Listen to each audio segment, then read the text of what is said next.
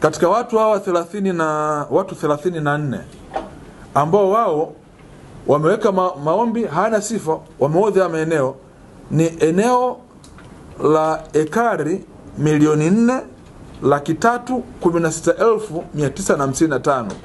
Unajua tafsiri yake ni nini?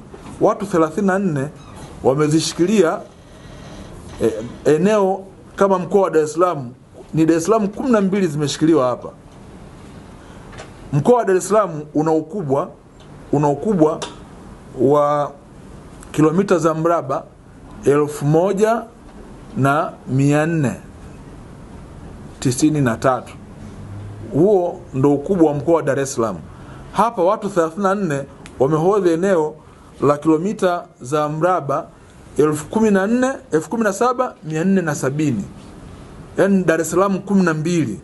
Ziko kwa watu 34 wamezizuia hazifanyi kazi. Kwa nataka niendelee kuwasisitiza. Watu wote wahakikishe katika leseni hizi za utafiti wanazifanyia kazi. Yaani kama ilikuwa ni mazoea ya kukaa na leseni unakaa nao ufanyie kazi katika kipindi hichi tutazifuta. Maombi yote ambayo hayana sifa tutayaondoa. Tuwapate watu wenye sifa.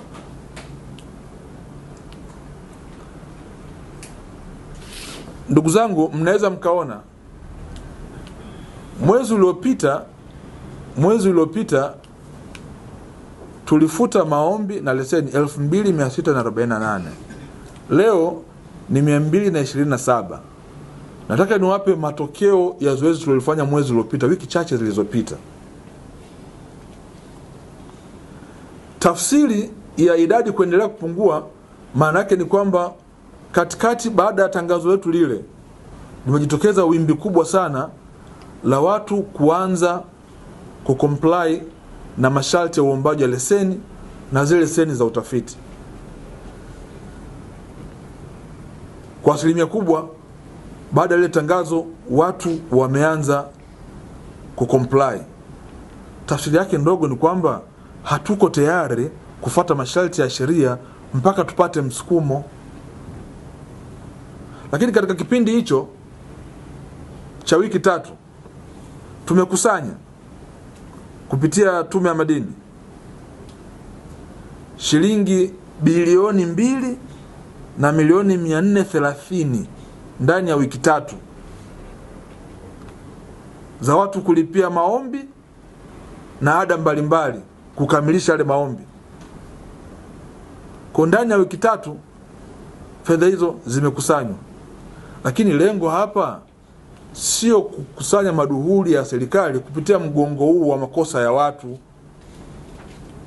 Sisi ingekuwa ni furaha kubwa kama maduhuli yetu tungeyapata katika mrabaha kwamba watu wanafanya kazi shughuli zinaendelea.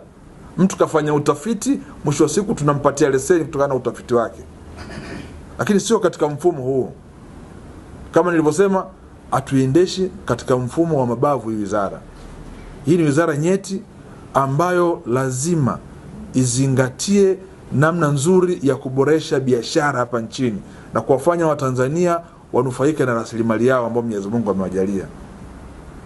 Lakini kwa sababu mnatulazimisha kwenda huko nataka niwahakikishie tutafanya tutaendelea kufanya na nitazidisha kufanya. Swala la kuhusu kufuta maombi na leseni e, ni sehemu ya majukumu yetu ya kila siku. Mpaka tukae sawasawa hatufanyi kazi hiyo. Ni wizara ambayo kazi yetu kubwa ni kuhakikisha tunasaidia wawekezaji wa tanzania na wasio wa tanzania kufanya shughuli zao za madini kwa kufuata taratibu na sheria ambazo tumejiwekea. Hakuna mtu yoyote anayefurahia ufutaji wa leseni. Kwa sababu lazima tukiri kwamba sekta hii ni kati ya sekta ambazo zina mchango mkubwa katika uchumi wa nchi yetu ya tanzania. Hatuwezi kuipeleka katika mfumo wa kutumia mabavu lakini kuna wakati watanzania wanatulazimisha e, kwenda katika utaratibu wa sheria na kuisimamia sheria jinsi inavyoelekeza. Mimi kama waziri, katibu mkuu hapa na wataalamu wengine hatujisikii fahari kufuta leseni, tunajisikia fahari leseni zikifanya kazi, maombi yakitendewa haki. Ukiwasilisha maombi, basi fata na zile taratibu. Sheria inasema vizuri kabisa, ukiwasilisha maombi ambatisha na nyaraka muhimu. Asilimia kubwa ya watu wanaleta maombi, hawaweki nyaraka muhimu, wanahodhi maeneo, nchi inapoteza mapato na kuna watu muda mwingine wanafikiria kwamba sisi hatufikiri sawasawa, kwamba mnachokifanya hichi mnaharibu biashara. Lakini ni biashara gani inayoharibika hapa kwa mtu kuhodhi maeneo makubwa? Nchi inapoteza mapato kwa kiwango kikubwa sana.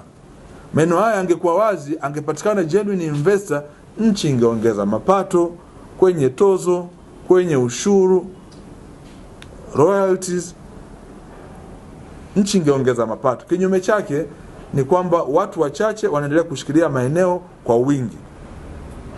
Nataka niwape taarifa na wasije wakafikiri zoezi hili ni zoezi la kuzima moto. Niliwaambia nina orodha ya maombi ambayo hayana sifa na leseni, nitakuwa naendelea kuzifuta awamu kwa awamu. Lengo letu ni kulifanya zoezi hili kwa umakini mkubwa, tusilete taharuki kwa nimeelekeza tume wahakikishe wanafanya kazi hii kwa umakini mkubwa. Zoezi hili litaendelea mpaka pale tutakapoisafisha vizuri kanzi data yetu na tuwapate watu wenye nia ya dhati ya kuwekeza katika sekta ya madini. Hatutaki kuendelea kuwakumbatia watu ambao wanakaa katikati ya kuhodhi maeneo akisubiri apatikane mtu aje afanye investment katika